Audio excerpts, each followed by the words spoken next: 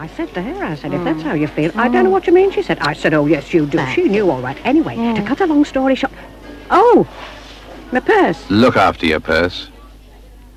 Before someone else does.